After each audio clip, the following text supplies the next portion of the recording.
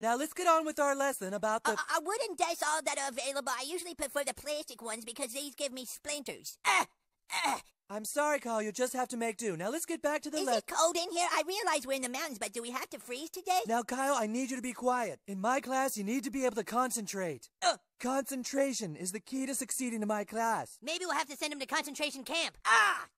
Damn it!